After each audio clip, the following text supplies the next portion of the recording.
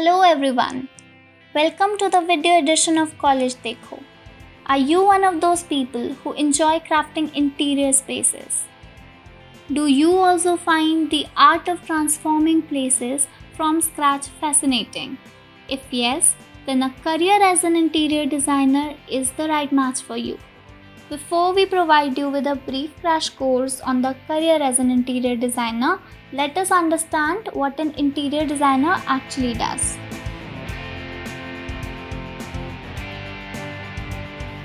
The duties that an interior designer performs on the daily basis are to brainstorm and conceptualize ideas, to visualize and sketch design plans, an interior designer keeps a close eye on the trends and makes sure that the end result of each project is appealing and functional. Well, now that we know who an interior designer is and what this person does, let us move forward and talk about the basic requirements that a person must fulfill to be successful as an interior designer. Let us start off with the educational qualifications.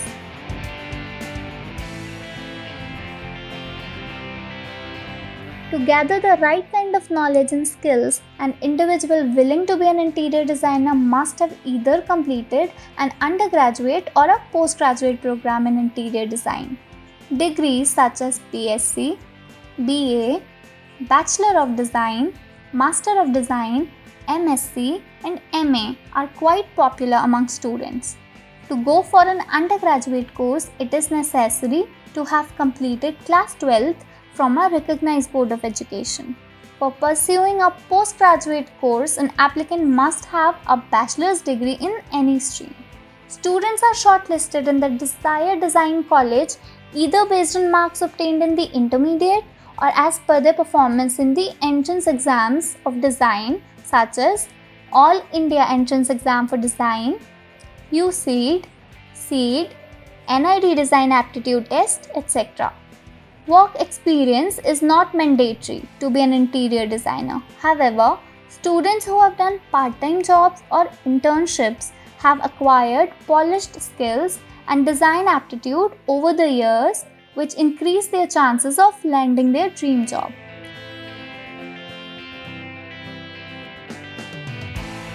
Colleges lay a basic foundation in the life of every student. So, choosing the right design institute is of utmost importance. Top colleges that are known to offer quality interior design education are JD Institute of Fashion Technology Delhi, Vogue Institute of Art and Design Bangalore, and Grace College Rajkot. Arc Academy of Design Jaipur and Amity University Lucknow also provide a great exposure and placement opportunities in interior design. Now let us address the highly anticipated questions of all times. What are the job opportunities available for an interior designer and which employment areas or firms are the best for them? An interior designer can find plenty of career opportunities knocking at their doors after the completion of bachelor or masters in interior design.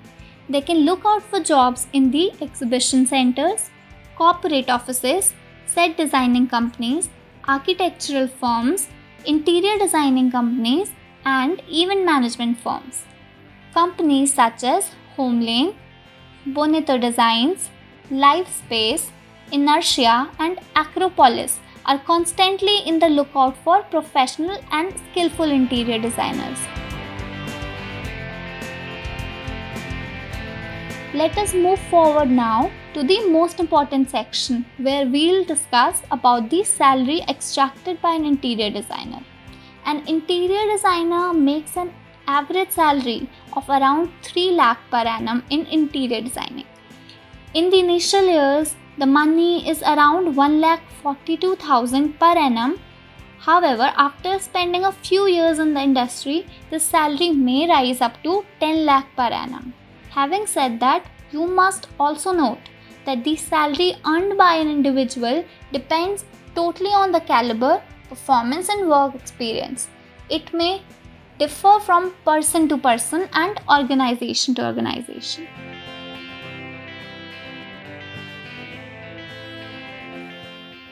Now that we have discussed the courses, colleges, job opportunities, and salary of an interior designer, let us focus on the advantages and disadvantages of the job. The major perk enjoyed by an interior designer is that they are provided with creative liberty. Most of the companies encourage the experimental approach and the out of the box thinking.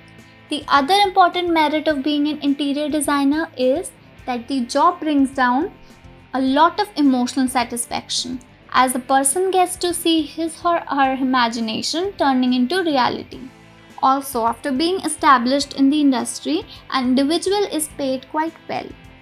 The cons of becoming an interior designer are that a person cannot execute the ideas without the availability of resources and manpower. Another disadvantage is that the industry has a lot of competition and you constantly need to prove your worth as there are plenty of other aspirants lined up to take your place. The drawback of being an interior designer is also that every single project taken up by an individual or by an organization consumes a lot of time and energy before shaping up. Well, in nutshell, if you own creativity, vision, designing ability, flexibility, problem solving, and communication skills, then interior designing can be your true calling. If you like this video, do like, share, comment, and subscribe to our YouTube channel.